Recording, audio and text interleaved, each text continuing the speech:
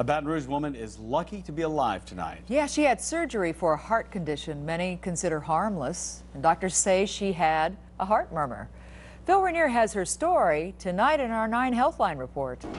Hello, my friend. About three weeks ago, Ida Prejean had surgery to fix what could have been a deadly heart murmur. It's a heart valve problem that's harmless in most people, but for patients like Prejean, They have a 50% chance of being dead in two years. It was a stress echo test like this that helped doctors pinpoint Prejean's murmur. The main valve that pumps blood away from the heart had grown so narrow it could eventually cause the heart to stop pumping. Prejean had been to doctors before, but never diagnosed. And he told me there was nothing wrong with my heart. Dr. Antoine Keller says it's not unusual for doctors to confuse harmless heart murmurs with ones that could be life threatening. Under the stethoscope, the whooshing sound of blood pumping through a narrow heart valve can sound pretty much the same.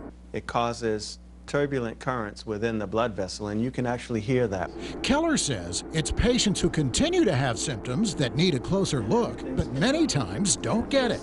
Prejean's chief complaint was shortness of breath, and it was getting worse, not better. Without surgery to repair her heart valve, Prejean now knows she may not be alive today. When it came time for the surgery, it's like it just didn't bother me of going through it because it was more of a relief. A relief to finally know what was wrong with her and to be able to breathe like a healthy person again.